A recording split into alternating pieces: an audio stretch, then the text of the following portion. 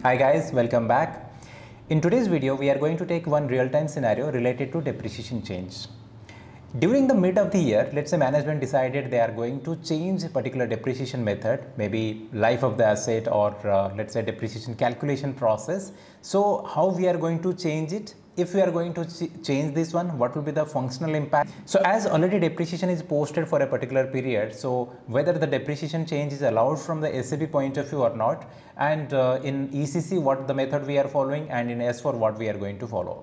So this is one real-time scenario that often confuses even experienced users and uh, if they need to change a particular depreciation, how to do that. Change is very easy, you can change the master data, but problem is when you are going to change whether the new method is going to impact in your asset accounting or not. And if sometimes management want that it should be impact in our retrospective effect, means whatever depreciation is already posted, it should reflect there also. So in that case, what are the challenges will be there? So let's understand this one step by step with a practical example inside our SAP system. And for demonstration purpose, I am going to use S4 HANA system, but same concept it was there in ECC too, although in ECC we are following the different approach. So let's begin the concept.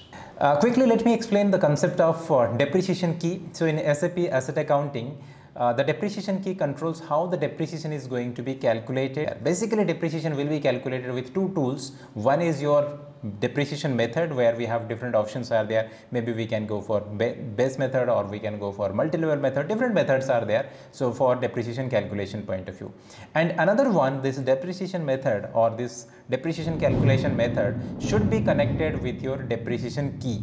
So on the basis of this depreciation key this depreciation key you will find in your asset master.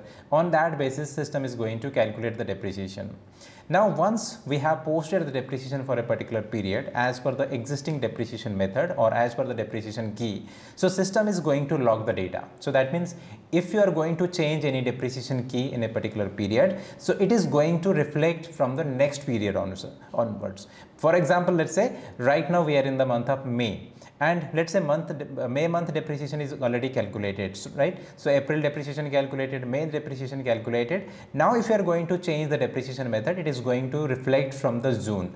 But challenge will be when management asks that as we have uh, changed our depreciation method so we want the impact should should be immediately from the beginning. That means whatever periods already posted or for whatever period depreciation is already posted we want that impact also should be there. So in that case what will be the challenge? We will be there or how we are going to manage it.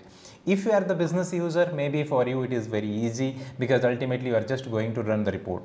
But configuration point of view, a detailed configuration is required or uh, uh, asset accounting or new asset accounting is configuration is required, particularly the new depreciation engine configuration is uh, required. Then only system is going to reflect or system is going to post the change. So to understand this one, I have captured some data here, although I already completed this scenario in my live batch, but I'm going to show you so that you will get the idea and while doing this particular one I captured the all the raw data so that uh, I can uh, explain here. Now you can see this particular table. So this is my old depreciation key that is Z002. As per this depreciation method, we are calculating the depreciation 10% written down value method and life of the asset is 10 years.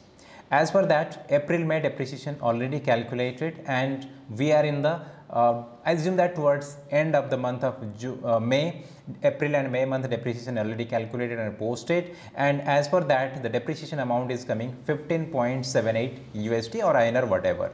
This value already posted and uh, that amount you can see that this is the document already posted in S4 system. So as per the old method, so this is uh, a combined figure of April and May this 15.78. This is your fourth period data means April month data and this is your May month data which is already posted. You can see the circle portion it is 10.19 uh, it's already posted and this 5.59 it's already posted. And now here business want to change the depreciation method. Now they want to change from Z002 Z003 as per that the new depreciation rate will be 15% and life of asset also reduced from 10 years to 8 years and the new as per the new calculation it should be 23.67 this new depreciation is supposed to be posted. Already posted amount is 15.78 so the new amount should be posted as 7.89 again it is for april and may both. So this amount should be posted so that the new depreciation should be 23.67 as per the uh, new calculations. So for this we have to go to the asset master where we need to change our new depreciation and for this again depreciation key configuration should be there. So as I said the backend configuration has to be there before execution this one. So depreciation key configuration should be there under your chart of depreciation and this is let's say my asset master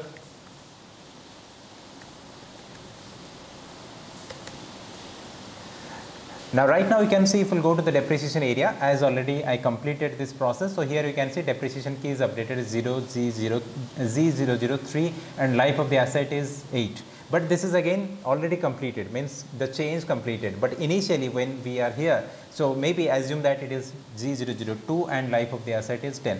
As per that or on the basis of our old data, depreciation is calculated with this amount. So this is the data from the Asset Explorer. The circle portion 5.59, 10.19 which is already posted, 10.19 for the month of May and 5.59 for the month of April. So it's already posted. And as you are going to change the new depreciation method, because of that you can see two posted values are available that is for period 4 and period 5. So here uh, I am following Jan to December reporting. So it is my fourth period and fifth period. Whatever amount is already posted, which is there in the green color. So it's posted amount 5.59 USD and 10.19 plus planned depreciation is also showing 2.79 and 5.19 this planned depreciation is the new depreciation which need to be posted in the system if it is ECC system in that case we know that we have the smoothing and catch up method is there so if you are going to apply the smoothing method, so in that case you are going to equally distribute the amount and if it is catch-up method then in one period you are going to adjust it. Whereas in this scenario in S4 HANA we want whatever the depreciation is already calculated for 4th and 5th April and May the new value of depreciation supposed to be posted from the retrospective. If it is expected from June, it is very easy. Next month onwards, the new depreciation is going to be reflect in our books of account. But management want the already posted months means April and May, the impact also should be there. Why I am saying April and May, why not from January? Because this asset you can see it is acquired in April. So that's why from the beginning itself, the new method should be applicable, not from January because January to March asset was not there. But if let's say asset was there in January, that from the beginning this method should be impacted. So our requirement is April and May month depreciation should be updated with the new value. So actually depreciation is not 5.59, so it should be 5.59 plus 2.79. Similarly, May month depreciation is 10.19 plus 5.59 uh, 10 so that is why whatever amount is already posted that is already there in our books of account the new value is supposed to be posted in the system and that too in same month means the new value means 2.79 which is not yet posted or this is the difference amount that should be reflected in the same month means in April. So in fourth period that should be reflected. and 5.110 that is the difference that should be reflected in the uh, May only because if you are going to add these values let's say April and May month both month you are going to add in the uh, in the month of June as per the old ECC technique. In that case, uh, maybe whole of the year if you'll see that means okay the total new value depreciation is going to reflect in our books of account but April depreciation is not going to be there in your cost of production calculation correctly.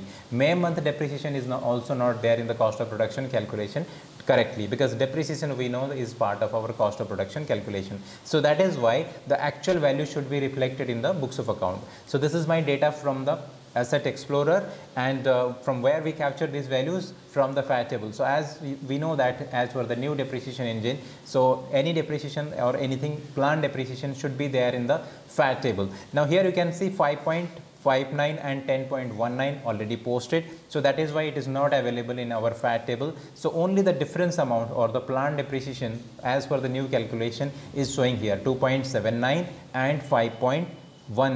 2.79 and 5.10.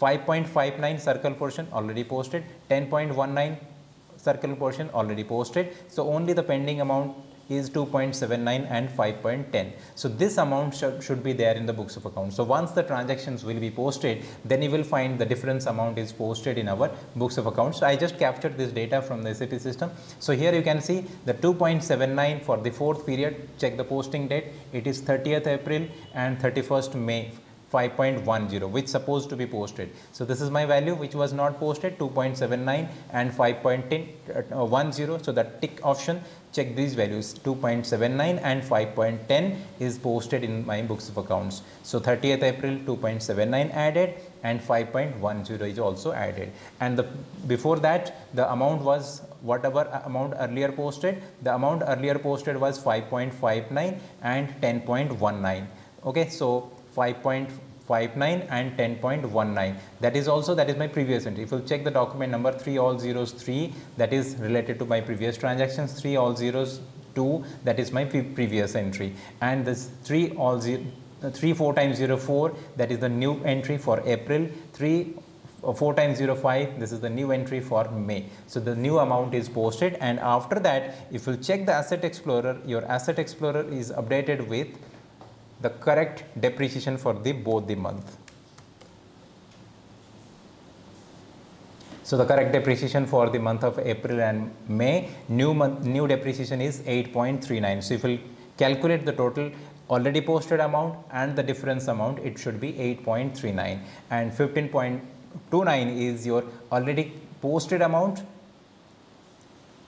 this is our already posted amount means 5.59 plus uh, sorry 10 point May month depreciation 10.19 plus 510 that that is equivalent to our 15.29 so April updated with the new value and May also updated with new value 15.29 so if we combine both the depreciation then it will come together whatever the, my example I have taken in the beginning so it should be 23.67 so the difference amount is posted. So for this uh, so answer to the question which was there initially whether depreciation change is possible obviously it is possible. Anytime we can change the depreciation key but uh, easy method is if you are going to apply from the next month onwards. So that is that is no further settings, nothing is required. But when we want retrospective effect, that means the new method should be applied on our existing period for which period the depreciation posting is completed. Then some additional configurations or new depreciation configuration is applicable. In S4HANA it is bit easy, whereas in ECC we need to configure the